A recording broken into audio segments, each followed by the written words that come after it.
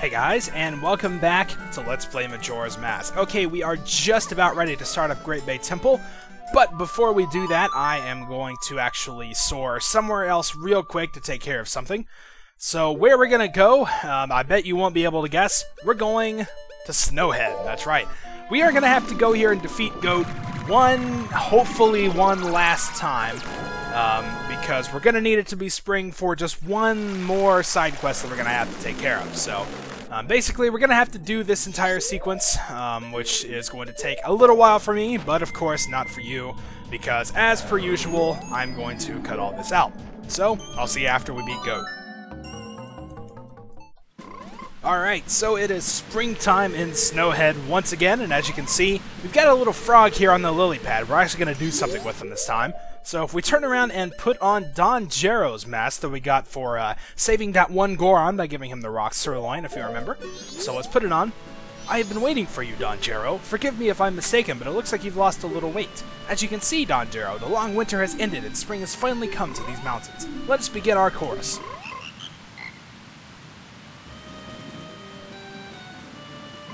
Unfortunately, it seems not all of our members have gathered. Perhaps it is because winter was too long. They must not have realized that spring has come to the mountains. And when the great Don Gero has come for us too, what a pity. Where in the world could the other members be, and what could they be doing? So yeah, of course that's going to start up another little side quest to find all the members of the frog choir here and bring them back to the mountains. One of them is actually inside of Great Bay Temple, which is why I'm pretty much waiting until now to take care of it. But um, now we've pretty much made all our preparations and we are ready to head into Great Bay Temple. So we're going to fly back to uh, Zora Cape.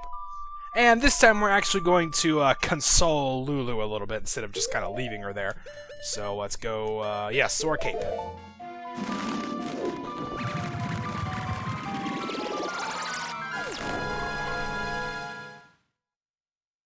Alright, and here we are, back on this little overlook. Now, if you want, it might not be a bad idea, since I know most people don't really like this temple too much. Um, it might be a good idea to sort of smash some of these pots. You can see there's actually a fairy in one of them, so that can help out a little bit. And also, there are usually fairies pretty much by all of the owl statues, except maybe for like the Clock Town one, I guess. But um, you could really fill up on those if you want, so um, if you're not feeling too confident, might not be a bad idea, but we'll be fine either way. So uh, now we're going to actually uh, deal with Lulu a little bit here. So let's speak with her. And of course she doesn't say anything. Sad face trying to tell you something, you can see it in her expression. Yep. So let's finally play that one song for her that we learned. You know, this one.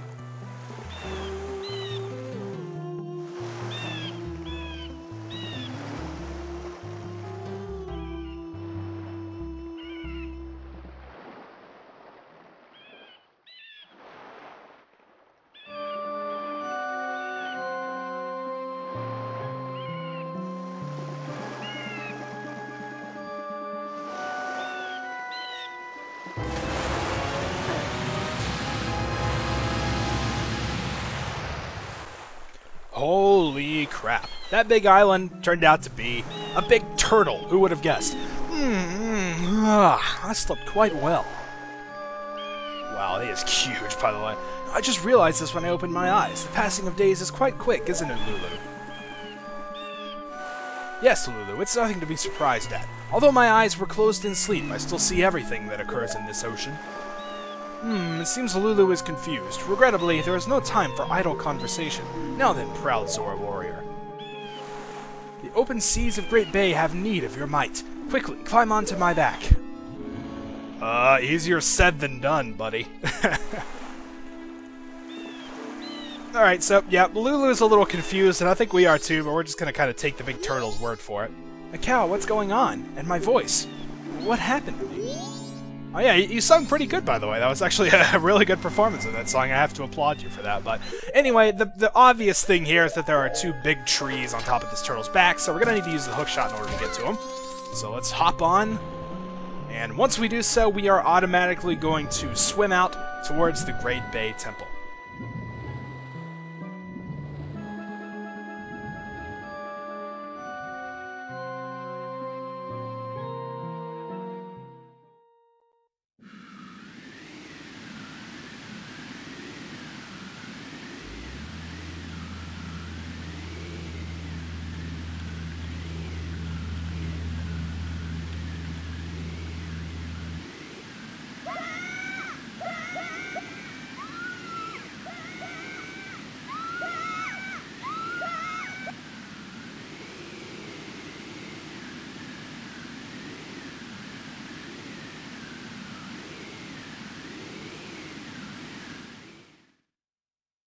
Alright, so now the thing about that scene is that it showed the pirates trying to get in, and they get flung away by the whirlpool, and then all of a sudden we're just magically here. I don't know, it seems like they would much rather show us going into the temple than them getting flung out, but whatever.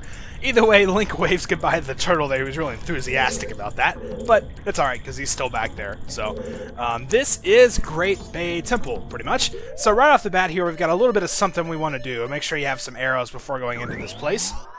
Uh, we are going to light each of these torches with a fire arrow. Of course, if you don't have fire arrows and you somehow happen to have Deku sticks, you could use the torches that are down underneath in order to light all these, but um, I don't have any Deku sticks and I have fire arrows, so the choice is pretty obvious. Once we light all of them, a chest is going to appear right in front of the turtle there. It's a pretty awesome spot, if you ask me. Um, then we can go and open it and find, yes, Stray Fairy number one. As usual, we're going to have to be picking up 15 of those little guys. So, yep, it's going to be fun stuff. Let's get to it.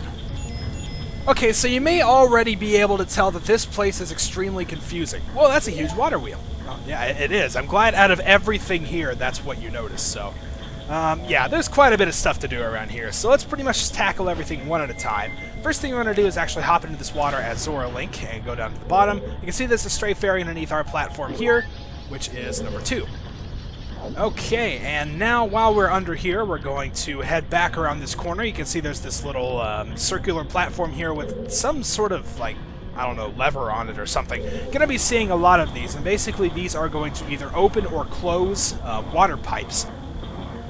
It'll cause water to get through and uh, come up in certain areas. This one in particular is going to make that appear right there, which we're obviously going to have to use to get across. So that's just kind of a little tutorial, I guess. Okay, so that's all that we can do in the water. Now let's head back out onto the land. Now we've got two elevators we can take, one over there to our left and one over here to our right. We're going to take the one to the right first. And uh, with this one, we are going to just kill this guy. Uh, this big Skulltula up here with a fire arrow works. I mean, regular arrows work. Or you can just drop down and kill him with a sword. It's whatever. Uh, but you may have been able to hear that a stray fairy popped out, so let's go ahead and grab it. And any day now. Oh, don't circle around me, man. There we go. Alright, so that's number three. Alright, so uh, yeah, Link is going to be diving a lot. You're probably going to see a few times where we actually just dive onto the land. It's probably going to happen a few times. It almost always does. Um, but now in order to continue on, we're going to take this left elevator and make our way over here. Be careful when jumping onto this platform because there are two big Skulltulas. You can kind of see their shadows. There's one there and one there. Of course, we can take them out with spin attacks if we want. But, you know, you don't have to. You don't get anything for it. And now we're going to use this column of water that we created earlier in order to jump our way across here. Then we can round this corner and go up the ramp into the next room. And while that was kind of a big room, I would definitely consider this to be the main room of uh, Great Bay Temple. Hmm, I get it. This huge water wheel is powering this thing. Yeah, so the water wheel back there is what's actually powering this. Um, it's kind of causing, as you can see, this little current, this little spiral whirlpool thing to be going on here. And you can definitely see as you look down, there are like a bunch of different uh, passageways that we can go through. So, um, like I said, this is really the main hub of Great Bay Temple, and it can be a little bit confusing to try to get around. Um, but before we tackle any of that, we're going to come over here and up this ladder. There's a barrel on top. We can roll into it, and that will cause stray Fairy number 4 to pop out. Alright, so now it's time to dive down in there, and this is where things start to get a little bit hairy. As you can probably tell, that current is very, very strong. It will significantly influence where you go. I mean, look at this. I'm not touching anything right now, and it's going around this quickly, so uh, we're going to have to try to make our way all the way down. Before we check out any of those little openings, we're actually going to just head um, all the way down to the bottom here. And try to stand here. Now I can see there's this pot in the middle. This is rather mean if you ask me. But um, we want to actually try to break this. And as you can see, if you try to do it by punching, it's really not going to work. So what I like to try to do is to sort of try to swim into it because you can move a little bit faster. Um, it can be somewhat difficult, but you can sort of Ah, do it just like that. And you can see there's a stray fairy inside. Now the hard part is going to be to try to grab this thing. Might be better to try to do this on foot. Uh, okay, maybe not because it's flying up. There it goes. All right, awesome. If all else fails and that really you can't collect it after breaking it, then uh, you could go up top and use the stray fairy mask, but, um, well, it's probably better to just go ahead and try to get it.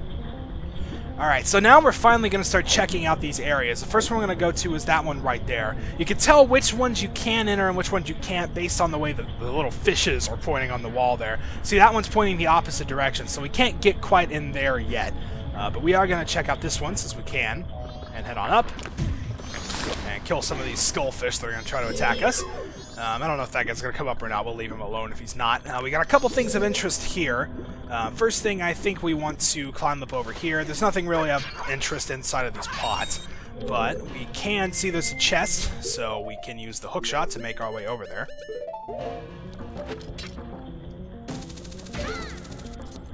Alright, and let's open it.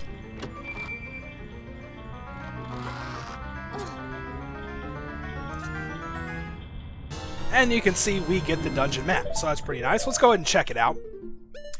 Alright, so this one has uh, considerably more areas than the rest of the dungeons we faced, and you can see there's a lot of strange, narrow, twisting tunnels that lead between each of them. That's really, I think, the main source of confusion in this place, but hopefully we'll still be alright. It's not too bad if you kind of know your way around. I mean, there are only um, I don't know, I'm wanting to say like five or six tunnels that you can go through in that main room, so uh, it's kind of process of elimination, really, I think.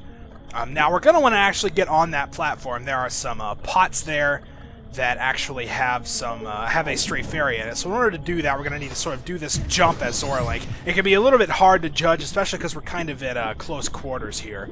But um, it's not too bad. So let's face it again and try it again. Ooh, there we go. Oh no, he jumped off. Awesome.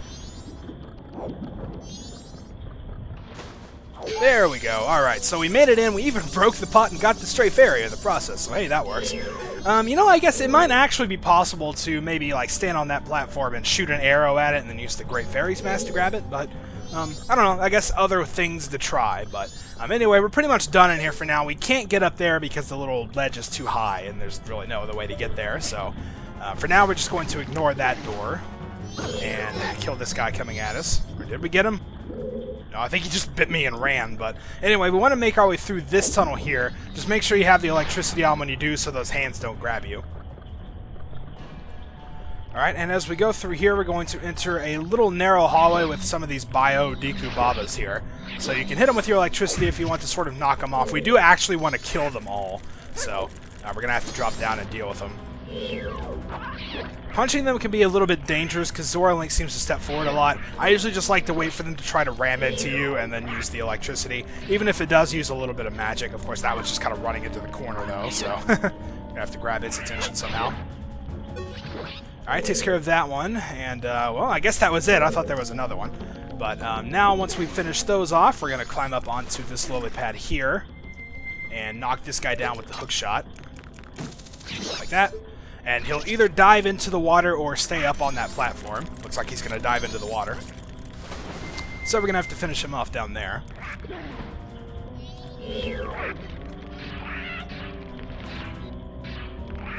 Okay, there it goes. I was hitting the button and I wasn't doing anything. Alright, so we finish off that guy, and that should be the last one in this room. Once you finish all of them off, a chest is going to appear up there. Um, so yeah, those guys are, can be a little bit annoying to deal with, but uh, hopefully it's not too bad. I don't think I even took a hit there. Alright, so let's jump up there and open it. And we are going to get Stray Fairy number 7. Awesome. So let's hop our way back across. You can either hop on these or just swim. It doesn't matter, because you can just climb up here. And then we can head through the door into the next area. And this is also sort of another big one. Um, it is kind of interesting, but I think this seems like a pretty good place to leave off. So next time we're going to check out this room a little bit more and explore further into Great Bay Temple. Until then, thank you guys for watching, and I'll see you next time.